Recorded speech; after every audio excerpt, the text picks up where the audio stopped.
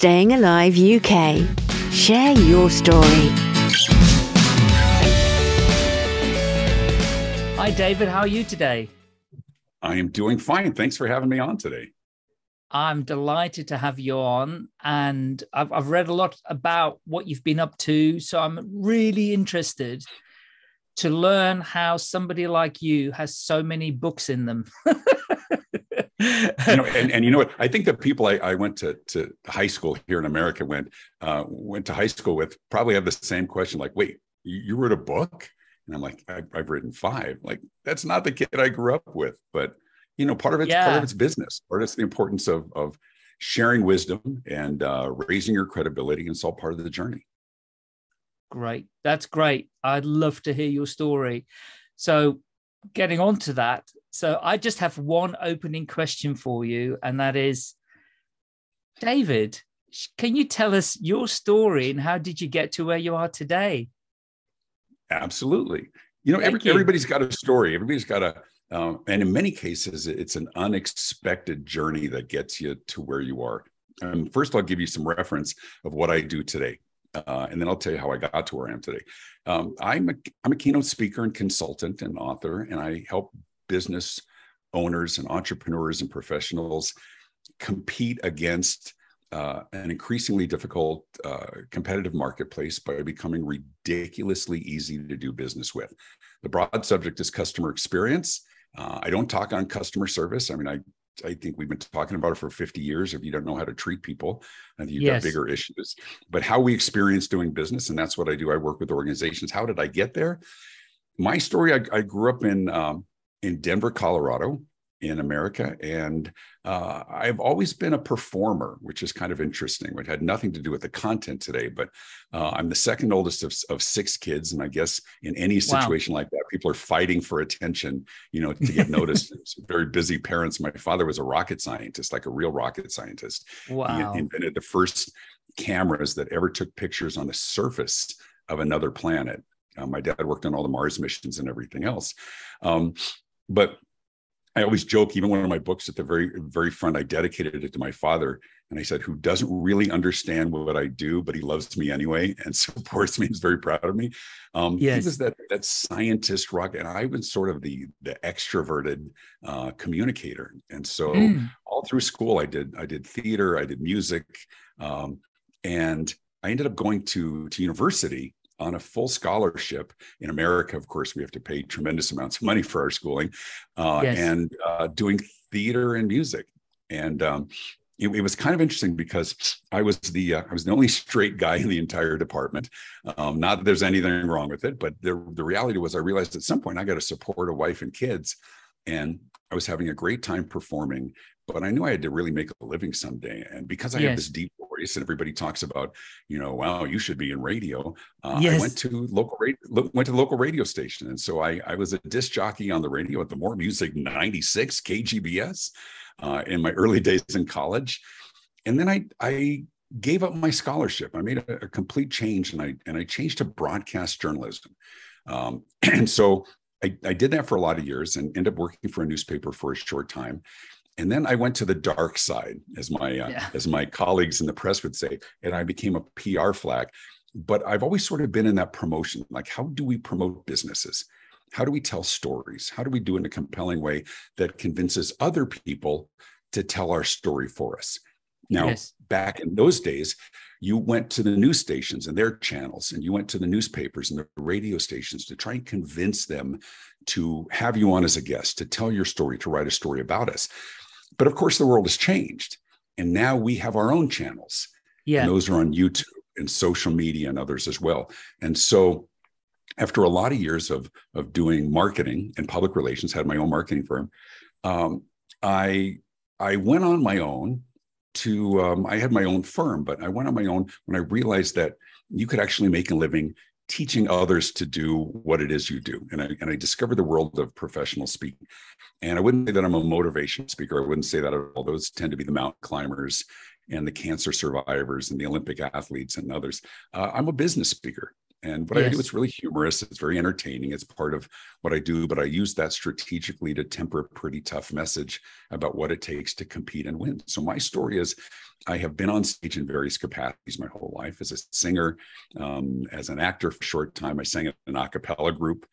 Uh, if you've seen the movie Pitch Perfect, it was it was that kind of work post college, and we had CDs out. It was a great way to spend my 20s.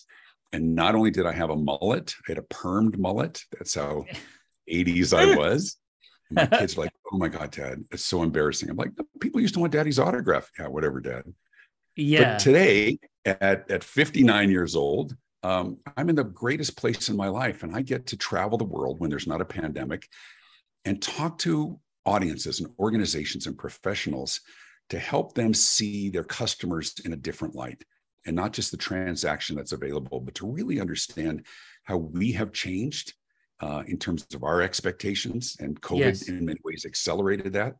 So that's my story and where I am today. Um, I'm very fortunate to travel. My my my mom passed away at 69 years old and never owned a passport. Most Wow. Americans don't own a passport, which I is still crazy. And I've been very fortunate to speak in 25 countries around the world.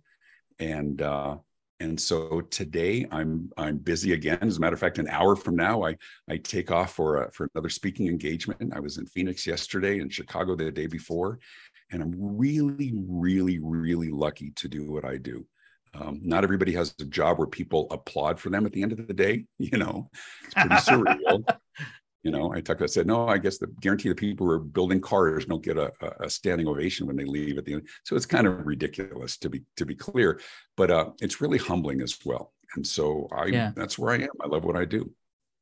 Brilliant. Well, thank you for for that quick kind of thumbnail sketch about your journey, and how you got into what you're doing. I have a few questions though, Sure. and uh, that come up in thinking about it because, um, obviously you had an affinity to acting, uh, which gave you that confidence, the extroversion, extroversion that you had in your in your youth. But is there a thread in your family? Obviously, not your dad, but was it on his side or the mother's side where there was somebody in the family who was like that? Yeah. that that's you a got great the question. genes from. Yeah. Yeah, I, I think for my mom, my mom was very extroverted. Think um, think Liza Minnelli with another 20 pounds and no filter. You know, she was bigger than life. This crazy, crazy woman. She's passed away um, about 13 years ago, and and she Hmm. was she was hilarious. Now, of Yes. course, as her child, and I'm the second oldest of six kids. Um, in many ways, it was very embarrassing. It was really mortifying because she was just a big personality, bigger than life. And of course, as an adult, and as, certainly as she has passed, I've come to appreciate so much more.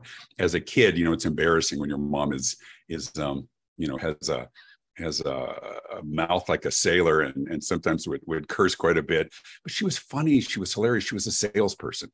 And so people would come in and she'd say, "Hello, my sweetheart," and you know, big huggers and very ethnic and my father was was very affectionate um, really wonderful dad super brilliant but a very different personality. Yes. what's funny is what's funny is my mom i think had hoped that all of her children would end up being like the von trapp children and we would all be singers and performers and that she could be this this stage mother which of course she would have been.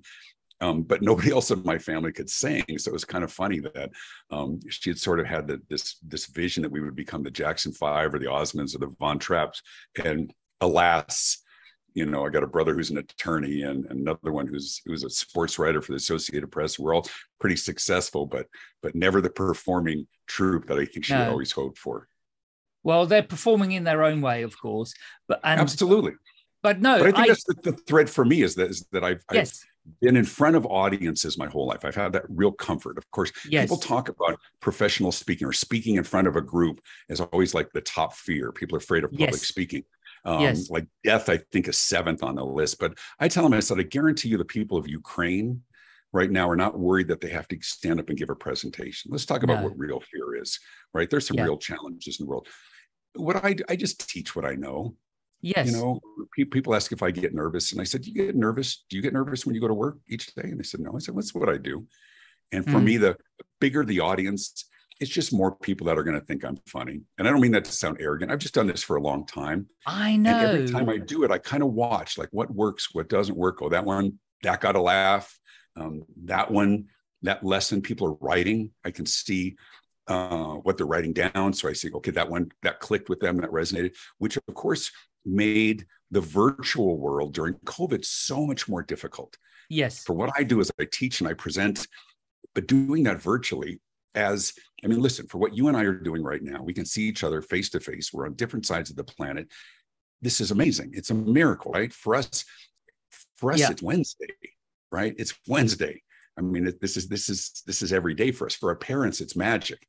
But yes. speaking and presenting and training virtually, as much as those who say, "Oh, the world is virtual," is horrible. It was just hmm. horrible mm. because mm. you really can't see the reactions. And if I'm speaking to hundreds of people, they're not even on the screen. So yeah. I'm staring at Cyclops for an hour or two or three and not being able to see what resonates. Well, oh, that clicked. Oh, that one. You could see on their faces that, yes. that light bulbs are going on over their head. So it made it yeah. particularly difficult during COVID. Yeah, I, I totally get that. Totally get that. Okay, so so when you transitioned, you know, from acting, singing, performing into the yeah. business world, and you ran, you said your own marketing company. Yeah, yeah. And but as a, but, but as, it came, it came. I was going to say it came from doing business for for 30 years and then yes. it sort of switched to the teaching part of it so there was a, a big gap i i was singing on it with a club for for some years there but i spent my career in business so mm. my real my offering is not a talent on stage it's the business wisdom that's shared i just have a yes. comfort level on stage because i was a performer got it and and why the topic of customer experience? What, I mean, first of all, let me just say for all the UK listeners who haven't been in the USA for whatever reason, when I first traveled to the US, I was astounded at the high level of customer service that I got everywhere I go. And, you know, the English people get a bit uncomfortable when American people in stores turn around to them as they leave, have a great day. They kind of go, hmm, you don't mean that. See, no, I always, I always say do. that. I, you know, I hadn't thought about that, Michael. That's they do, really good They do mean do. it. I do. Yeah. Yeah, you do. And most Americans do mean it. And people that work in stores really do mean it. You know, and because us, well, I'm not a Brit, I'm a Dutchman, but I've lived here so long. I'm a, you know, I call myself Dinglish now. So yeah, um, so we're kind of more like, oh, we don't say things like that. But I remember traveling to the US loads of times. I loved it because I felt like I was a real customer. We don't get that level of customer service in the UK. Sometimes we do. Actually, my wife and I went out for dinner last night in a very nice city, and then we went to the theater afterwards. And the customer service was amazing. And when that happens, you kind of notice it because we right. don't get the level of service that we get in restaurants in, in the US, etc. So knowing that that customer service in the US is already really high, right? And you know that as well because you're you experience it every day. Sure. Why did you have to focus on customer experience in business? What where did you see a gap? in that area? That's a great question. And, and I would tell you that many in America would disagree with your observation. I mean, you're comparing it to sort of what you're used to. Um, I think sometimes in the service industry, restaurants and others, it's a fairly high level of service because we tip. That's a big yes. part of it. The standard is is 15, but most people tip 20%, which is pretty significant. But then again, we don't have the VAT, we don't have the value added taxes that you guys do That's in, right. in Britain. Um, but they know that they've got to work hard to earn it. But let me clarify it again. And and and as the sort of the genesis of my transformation of my business is I don't talk about customer service because I think people get that part of it. But there is a significant distinction between customer service and customer experience. And let me explain. Mm. The service is what we provide. If we're a business owner, here's how we treat people. I mean, like I said, we've been talking about for 50 years that, you know, you, you better know how to treat people. What's really fascinating to me is the experience is, is changing dramatically that we as customers experience. How, how easy is it for a company to do business with? Um, is it frustrating? Is it complicated? Do we have to do things on the app? Do we get to do things on the app? And so yes. that transaction used to be fairly standard, right? You go up to a register and you pay and they ring it in and you hand them cash. Yeah. And then now we can buy online. and we can buy with one click. We can get things delivered to our home. Um, it's it's it's crazy. So the transformation for me was I talked marketing and branding for for many many years, 15 over 15 years, and what I started to see was a real difference, um, a shift what I taught organizations was how to better craft language that was really persuasive in a marketplace replete with quality players. Why you? Not can you, but why you? And what we saw was a lot of laziness, right? Anybody in food service would say, um, you know, we start with the freshest ingredients, right? And then they go, and like everybody's like, well, you're serving me food. What's yes. the alternative there, right? We, yes. we use nearly expired ingredients, but we pass savings on to, right? but the thing, so I, I, helped for many, many years. I helped organizations around the world better craft their messaging in a way that was compelling and memorable and differentiating. But there's been a significant shift over the last probably six, seven years into what other people say about us carries more weight today than what we say about ourselves. People have always been a little bit hesitant. Yeah, it's an advertising slogan. Well, yeah, you say that, but it doesn't. Now we go online and it's Yelp and it's TripAdvisor and it's Rotten Tomatoes and it's Glassdoor and all of those as well. And yes. so I set about doing set about doing the research into what is it that's that's causing negative reviews? What is it that's driving people to share their thoughts? Right. And that's what led to my book, Why Customers Leave and How to Win Them Back. And we're in seven languages around the world we grew up in business. Everybody grew up in business. And, and Michael, you've heard some version of this, right? We used to call it guest relations philosophy. And here's how it goes the average person with a positive experience will tell two or three people, right? But somebody with a negative experience will tell 10. We've all been saying that for 40 years. Today, none of that is true. Today, we tell thousands of people. Mm, Today, yeah. we tell millions of people. Today, mm. the ramifications of underperformance are profound, and the internet is forever and it stays forever. So when yeah. I talk about the experience and my shift to customer experience is because how we do business is changing, the, the points of frustration are changing. Like anybody who, who we used to talk, I talked to a lot of banks and financial institutions, and you would ask mm. a banker, what's your competitive advantage? They would always say the same thing 100%. It's this, it's the relationship. We have the relationship. We know our customers by name okay, well, what happens when 95% of your transactions are on your cell phone, on your mobile phone? Right. I, I yes. speak to an organization. They, they they hand me a check as I leave. I sit in the back in the back of the Uber. I, I sign it. I take a picture of it, and I deposit it in the bank. None of that has anything to do with somebody asking us, you know, so what are your plans for the weekend? Which is what we say in America, like, so what's your weekend, right? They're trying to make a connection. I don't yes. have to go into the bank anymore. No. So service doesn't even play a role because I'm never ta- I'm never talking to a real person. But mm. the experience is still very important. The user experience, right? Do I have to type in my username and password? And if I if I mess up a letter in my password, do I have to type in my username again? Can I do something? Can it remember me biometrically? Can it look at my face, right? At some point, we're all going to become our own passwords. We know that. And so there's the customer experience, that's CX. There's the user experience, which is UX, and people are working behind the scenes trying to shave a quarter of a second off a transaction because they think if I can help get people what they want faster, right, we have a competitive advantage. Can we simplify our system? Um, yeah. And then, of course, there's EX, which is the employee experience. Right. How, how, right. And that's more challenging if people are working remotely.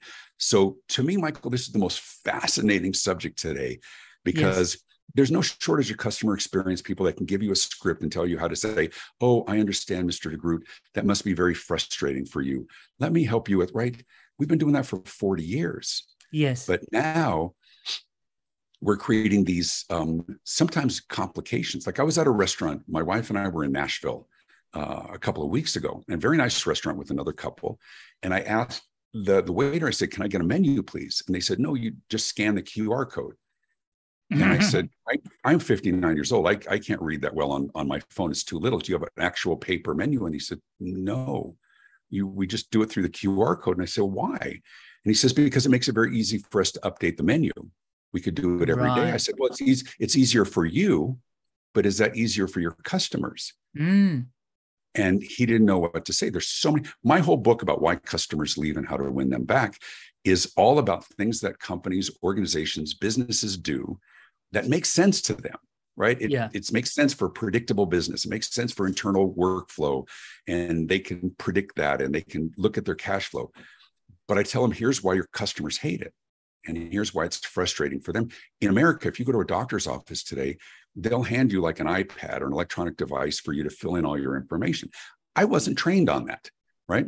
The purpose of it, somebody convinced them, uh, some salesperson, if we automate all of this, your your your patients will fill out, and then your receptionist, the woman at the front desk or the man, doesn't have to fill out the information. I'm like, Yes. wait a minute. So your receptionist doesn't have to do the work. Let's give it to the guy who's bleeding from his head. Mm. Let's give it to the person who who just was in a, a car accident. Yeah. That's the person that should be doing the work. Yeah. That's we've we've lost something, right? Yeah. And so Yeah. I tell organizations, I said, if you if you have a new great new process and your efficiency is dependent on shifting your work to your customers, rethink that.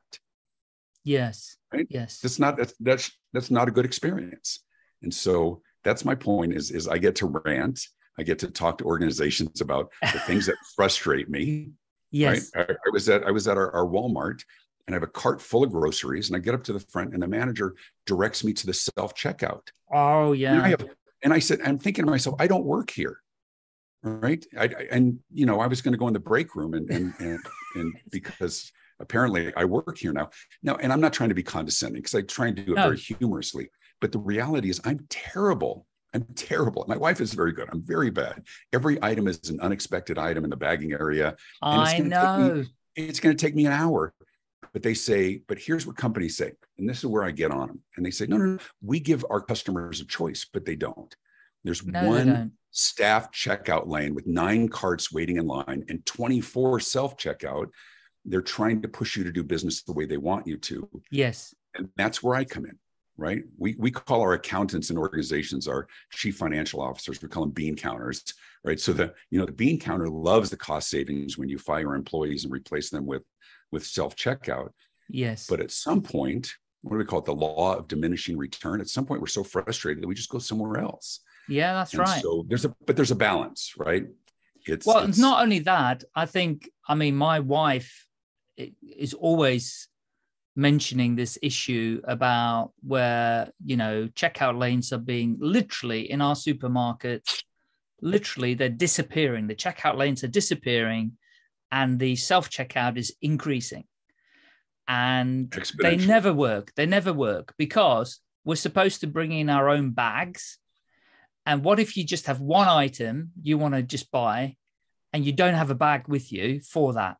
The system can't work. It doesn't know how to work now because it says, Are you bringing your own bags?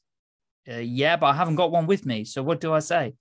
You know, it, it is so frustrating because the automation has not put the customer i mean i wouldn't mind but it's not put the customer in in you know experience at the front of it it's a technological experience that we then have to get round and then it goes wrong anyway and somebody has to come and sort you out Right, exactly know? right. It takes longer because they have to come back. What was Yeah. interesting is that at our Walmart, they got rid of most of their their checkers at at the uh, at the register, and so. But now, as we leave the store, there's somebody guarding the door that checks our receipt and looks in our bag to make sure we didn't steal anything. oh my god Oh, and all at every one of them now.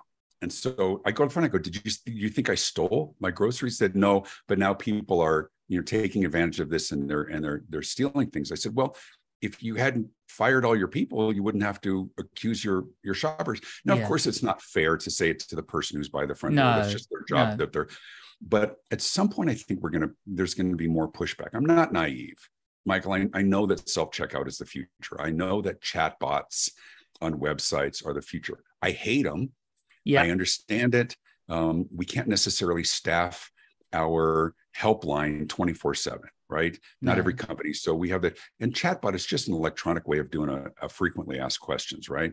yes But I understand them provided they give us an alternative, give us an off Yeah. ramp yeah to a real person, right? Because Yeah. I'm the guy who's on the phone going, real person, real person. I think you said yes, no, real person, right? And, and so I mean, I'm old, but I'm not that old, right? And, No. and I've and I've been at conferences where they would have like a panel discussion. All the millennials would be up there, and in their in their black t-shirts and jeans and hipster beards and and the little pricks making making whatever. But here's the point: is that they get up there and, and they're all cocky and they said nobody wants to talk on the phone. Nobody wants to. You've got to do this and this. And we, sit in the audience, we just smile. We look at each other and say, "You get it. You don't want to talk on the phone." yeah. But how many companies are only serving one demographic? How Mm. many companies are serving one age group? That's the challenge today. It isn't one or the other, it's everything. It's omni channel. We have to be able to accommodate every age, every buying habit. If somebody wants to buy on the app, you've got to give them the option to do that. If somebody wants to come in store and look at it and touch it, you got to give them the option. No, not every business model, and all of your listeners and viewers, not every business model aligns to that, but it's but the overall strategy is the same, and the philosophy holds true, which is give people choices. Um, Mm. They, um, I don't expect that I can get my hair cut at four o'clock in the morning, but I do expect that I can make an appointment. Right. Yeah. And Yeah. so those companies that are, I, I saw a, a, a speaker at a, a really interesting statistic. He said only 26% of companies have adopted an always on business model to accommodate their always connected customers. 26%.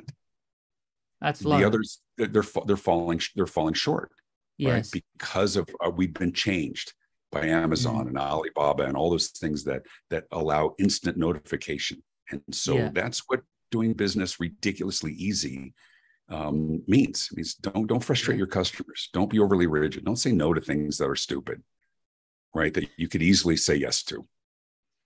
Great. I love it. I love it. And I I think your message and what you're saying to companies needs to be heard over and over and over again.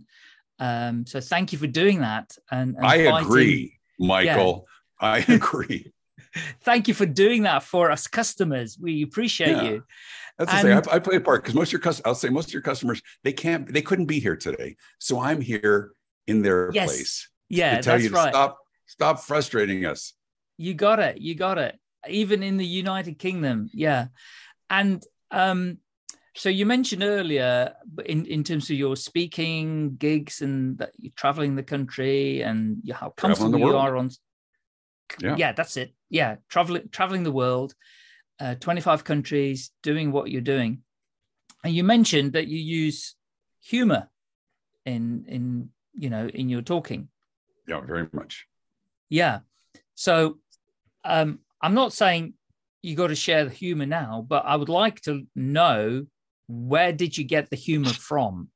Yeah. And then how did you how do you blend that into a serious message that you want to give? Sure. Well, but like I said, it's it's very strategic, but it doesn't mean I'm writing jokes. It just, first of all, I'm pretty irreverent. Um, the things that don't come out of my mouth are the things that I stop myself from saying because it might be offensive or a little bit salty or something else. But it's just, you know, I grew up with brothers and we just and and even our way of complaining or ranting, um, I think if you can do it in a way that that has some humor, it lands. Um, the things that um, that are are frustrating to people tend to be frustrating to a lot of people. I mean, if you, even if you look at humorists like Jerry Seinfeld and others, you know, Jerry Seinfeld is talking like, why do they do this all the time, right? If you listen to the core of the kinds of messages, he's he's relaying scenarios that we've all been there and we've Yes. all been through, and, and that's part of the, the laughing. It's like it's like, don't you hate it when people do whatever? Like, oh God, I hate that, right?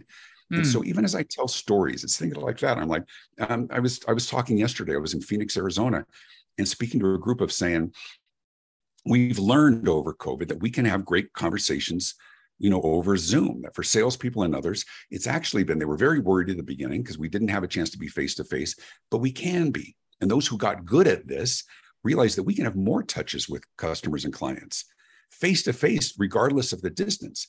And then I show a picture of a guy with a on a desert island with palm trees, his green screen behind him.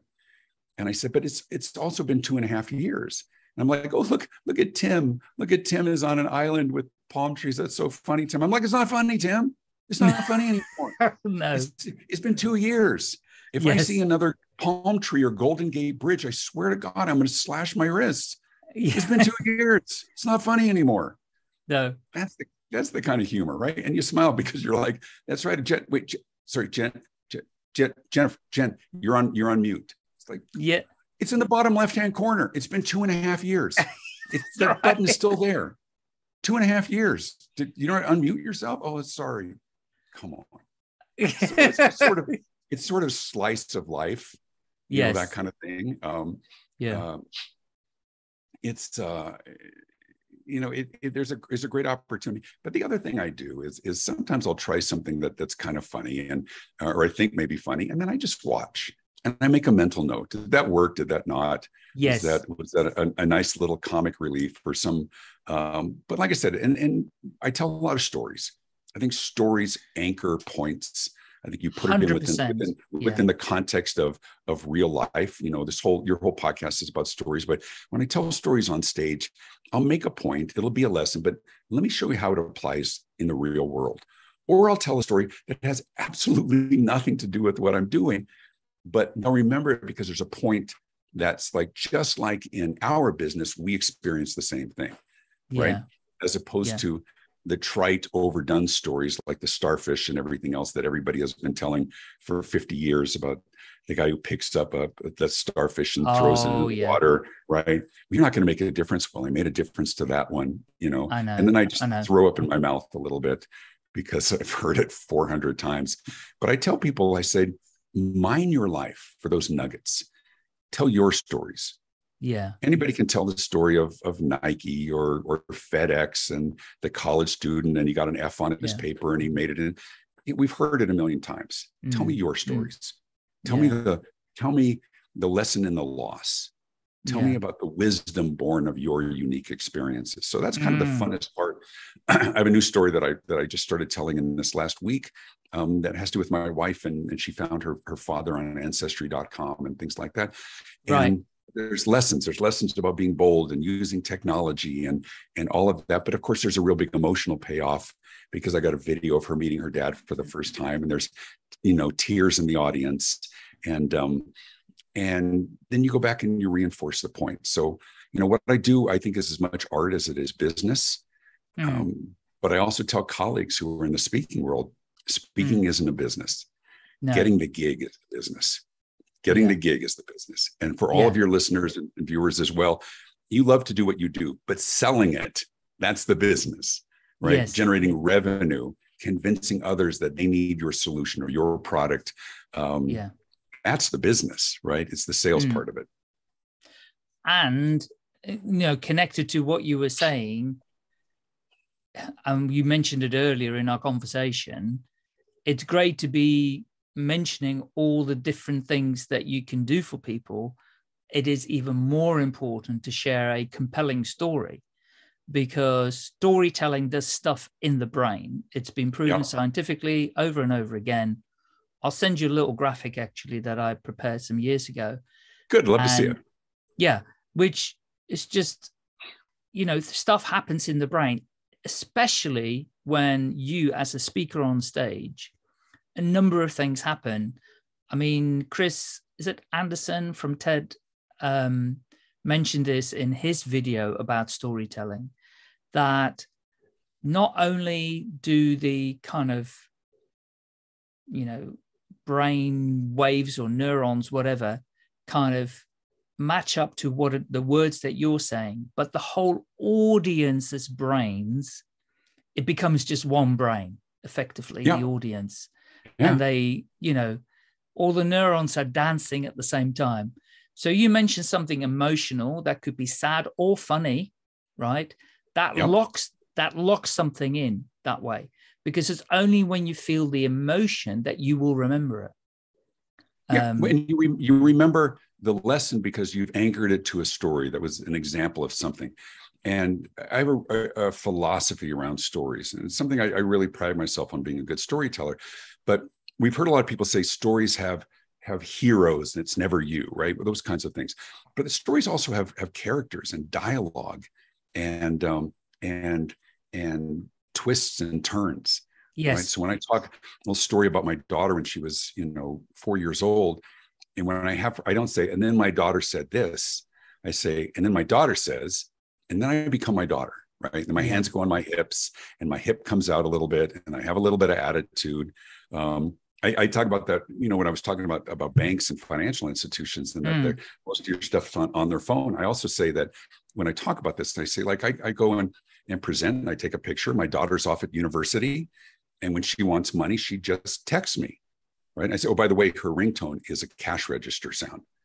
And, every, and, every, and, everybody laughs. And so she was home at, at Christmas time, and all of a sudden you hear this cha-ching, and she says, "What was that?" I said, "Apparently it was you texting me from the couch." And she says, "Dad, a cash register, really?" I said, "Well, Sydney, you generally want money. It's really insulting." I said, "Okay, what do you need?" She goes, "Never mind." Right, and it gets a good laugh. But I didn't say that she just said, "Never mind." I have her going like, "Dad, what was that? Was that?" Uh, right? And I'm telling yes. that it's, it's her. Like I'm not just telling a story, I'm in the story as I'm telling it. it doesn't mean I'm overly dramatic and overcoached, which is a yeah. big problem in our industry. But yeah, we think about we sit down for that family meal, whether it's Christmas or American Thanksgiving. Mm. We don't talk about our things. We don't talk about our stuff. We talk about our experiences. We yes. talk about, oh yeah, well, you were the one when we were like nine years old. You were the one that mom always what right we're having that that conversation. Yeah. or it's remember the time right? And it's maybe there's a laugh in your voice. And that's yeah. a story. It's not once upon a time. It's i remember i was i was like 14 years old and my dad was like really on me because i think i was probably really disrespectful at it right? And then you start the story and you're there with them. Yeah. Right? Yeah. And the story yeah. isn't perfect because at certain points oh yeah but but but she didn't do the right? As you're remembering things and and storytelling i think can be really compelling if it's authentic correct. and far less so when it's rehearsed. Yeah. Doesn't mean we don't rehearse but i'm a big believer in in, re, in rehearsing for spontaneity and rehearsing for authenticity. I might have told a story 500 times but every time i tell it it sounds like i'm telling it for the first time. And there's an yeah. art to that. Yeah 100% 100% Wow. So tell us a little bit more about, you know, you've got five book childs. yeah. Your five I them all strategically located next to my head here. I can see cur- that. Cur- That's curate brilliant. my background. Yeah. Oh, just perfect. what? These little books? Oh, look, they just happen to be right. I'm, Michael, so, I'm strategic. Yeah, yeah, 100%. Yeah. No, it's good. It's good obviously our audio listeners, please go and watch the YouTube video where you will see the books. Mm-hmm. Um, what about what what you mentioned one, why customers leave. Um, I believe you have a new one out. Um, I have a new um, book, which I oh, what a coincidence, Michael. It's right here. My new book hey, is called The Morning, it, it's called The Morning Huddle, Powerful Customer Experience Conversations conversations to wake you up and shake you up and win more business. And you know, I think everything we do is sort of a reflection of what we learn. You know, I've been speaking for for over 20 years, but but in that is an opportunity to work with organizations around the world. I've yeah. had one-on-one conversations with over 7,000 company CEOs. And I feel like I get a, a master's degree in business about every 18 months just from what I learned from others. And so my job is to take what I'm gleaning from so many different industries hotel and hospitality and financial services and dentistry and manufacturing and bring that wisdom to organizations say let me give you an outside perspective yeah. on what's going on in the world let me t- and we always say in speaking don't don't just tell us what you've done also tell us what you learned and so my job is to say here's what i've learned here's how it's relevant for your business and so the books have a couple of functions. One, it's credibility. You're the one who wrote X or Y, but it's also a way for us to sort of coalesce all of this learning um, yeah. in a way that's saying, here's some specific lessons, here's some some steps. This book, The Morning Huddle, actually came from a video series that I created called the Customer Experience Advantage Morning Huddle. And the idea is to get organizations to spend 10 minutes as part of their morning meeting or the morning huddle once a week or right. create a new meeting and spark conversation. I'm a big believer that the answers are in the room yeah. some of the best wisdom comes from the other people in your company and to create yes. a, a, structure for those conversations so uh, it's not motivation but they're they're conversation starters do you yeah. ever notice this um, how often have you been asked this? Are we all on the same page in terms of how we respond when this situation occurs? Yeah. Right. And so, yeah. my new book, The Morning Huddle, um, which of course is on Amazon. All my books are on, on Kindle and and uh, and most of them are on audiobook except for the new one because I have a video series. But it's it's very conversational. And for those who, yes. who hear me on this or have seen me speak before, um, I write with the same voice and I write with some humor. But the book is full of stories, um, mm. stories that illustrate. Um, I tell one story about time when I was young and I saved up all my money and I bought this record 60 super hits was like all my favorite songs and I'd saved up for weeks because back in that day, our parents didn't buy us the things we wanted. We had to save up no, our own money. That's and right. I sent away and I got the record in the, in the mail and I played it and it was something was wrong. And I, and I, and I played another song and it was wrong. And I looked at the cover and it says performed by the realistics. It wasn't the original artist. It was like some right. band, cover band playing all of them. And I was upset. I was 12 years old and I cried on my bed and I felt like I got cheated, like I had done everything right I, I had saved my money. I sent it in. I waited. I did everything right and I got cheated. And I use yeah. that as a lesson, right? How often do your customers believe what they're getting may not be equal to what it is that you're delivering? Not that we're uh-huh. intentionally trying to cheat anybody, but is there a disconnect between your offering and their expectations? Was there a communication problem? Was the picture much more um, uh, beautiful than the actual product that they received yeah. or the yeah. quality. And so yeah. I use stories like that to spark a conversation, not just the lesson, but a conversation. So, what does your team think? Have you ever been through that? Have you had people come back to you and say, um, you said blank, or they got frustrated? Well, here's why because mm. nobody wants to feel that.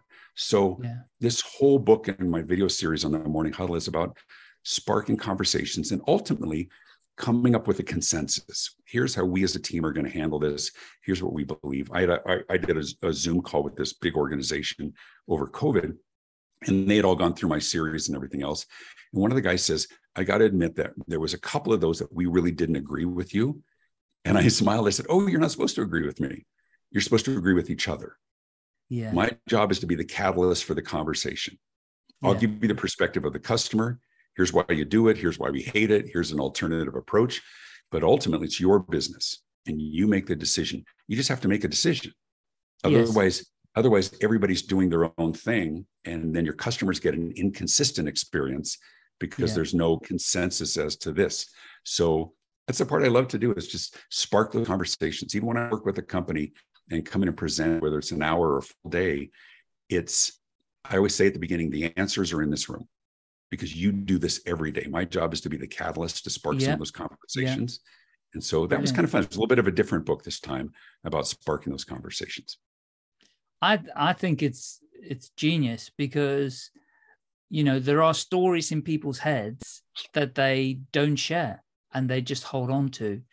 I mean, I won't mention the company name, but I've had an ongoing customer experience issue with one particular company that has been running now for over 12 months and they still haven't got it right. You know, they still don't know how to solve the problem. And I've had to deal with probably around half a dozen people who were going to try and solve the problem. But and part, I'll tell you, Michael, part, yeah. Yeah. Part of the challenge is, as I said before today, the ramifications of underperformance can be profound because everybody's armed with a bullhorn what if you were one of those people that said, I am done with this? I'm going to go on a campaign. I'm going to talk about it on every podcast. I'm going to post five times a day. I'm going to call out this company. I'm going to make them pay. And the reality is, Michael, there are hundreds of thousands of people around the world who have that, that mentality. I'm I'm not proud to admit that I wrote a blog post about it. Oh, I, first, I do it all the time when it first started. And I get I year, get response very quickly. A year ago, and I did get a response from the managing director, but then he did come some way towards solving my issue, but then has been very quiet. And then I tweeted about it too. And the tweet got a lot of views, which I don't have a massive audience on Twitter. Right. And did you hashtag the company and did they respond yeah. at all? Yeah. Yeah, they did. They did. Yeah, they did in the, because I tagged them Yeah. as well. my You guess know, is my guess is my guess is it's a very large company.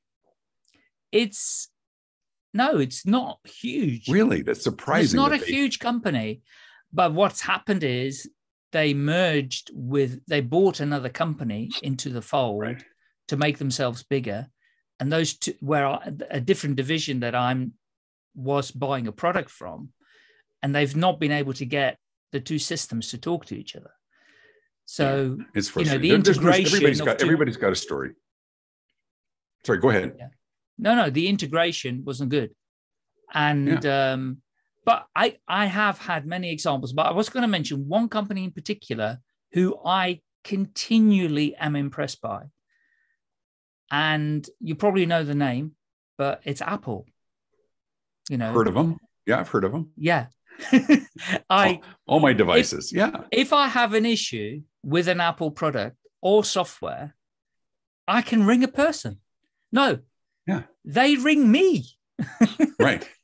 I put a note in to say, I don't even need to give them my phone number. I just put, I log in to the support thing ticket. They know who you are. They know who I am, and the phone rings. And it's magic. and not only that, they spend the time to solve my problem. Right. And the I mean, so much the- so. I'll tell you. I'll tell you a quick story, ahead. David. There was an iPhone that just did not work. I emailed Tim Cook. I didn't get a response from Tim, but I got a response from a senior person in Apple who is regularly on, you know, when they, their keynotes, and he emailed Yeah. me back and said, "I would like to get to the bottom of it." I was astounded That's you know, like a Well, vice president. No, I was going to say we hear a lot from from others is that they'll use that as an excuse to be dismissive. Well, I'm not Apple. I can't do. It. No, you aren't. But there's lessons in that. Yes, Lessons in yes, terms yes, of yes. just of responsiveness. I mean, it, it, it's it's incomprehensible that a situation with this other company has gone on for a year. Somebody Yeah. needs to own it. Yeah. Right. That's Yeah. he's the person. So when I call now, and if I'm on my third or fourth or fifth call with an organization, the first thing I, they say is, "Say, I listen. You are the fifth person I've talked to. I need a hero. I need a hero who's going to own this and stay with me until it's solved." Great. And it's remarkable the response I get sometimes. Well, listen, we're gonna we're gonna get this taken care of. And I said, I appreciate it. And there's, I'm frustrated, but I will tell you, I'm not frustrated at you, but I'm very frustrated at the situation. And I'm sorry that you got stuck with me. But I really need a hero right now. I need Yeah. somebody help because I cannot spend any more time. And sometimes that alone sort of empowers individuals. Yeah, that's. A, I'm going to use that. Thank you, I got it because it works. David. How can people get a hold of you? Find your books. Uh, give us your website, your socials, and and Sure. let's share some stuff. I am everywhere online at davidavrin.com. The last name is A V R I N, davidavrin.com. Just search me on Google. All the all the the uh, social media platforms. It's at David Avrin. The only difference is Instagram. I'm uh, the real David Avrin, but that's a whole catfish for another day. Uh, but uh, plenty of information. But uh, I'm I'm fortunate, and I got, I come to the UK several times a year as well, heading to Dublin uh, at the end of this month. And so I'm so thrilled that that international travel is back and an opportunity for me to work with clients and audiences face to face. Fantastic. It's been wonderful to hear your story. How much fun! journey. Yeah, thanks for having me. Yeah, really, really great. And if you do come to the United Kingdom, please do give me a shout and maybe, you know, we can meet up and have some lunch together. Would love to. Would love to. um, uh, I, wish you massive success with everything you're doing. It sounds amazing. You have a podcast too, right? I do. A little sign behind me right here as well. Yeah, Mine's called the just. Customer Experience, the Customer Experience Advantage podcast with Great. David Avrin. So I what a what a thrill and, and best of luck on your work as well. I, I think you I think you've got the right approach. I think the stories are so important and Yeah. anchoring that to the business messages for your audience, um, I think is really valuable. So I appreciate the opportunity to join you today. I appreciate you being here and take care. And I'll be in touch soon. If you've enjoyed this podcast, please rate, subscribe, and share at will. I'm always looking for more listeners and guests, so do get in touch, please. You can find me pretty easily by searching for Staying Alive UK. Thank you. Staying Alive UK. Share your story.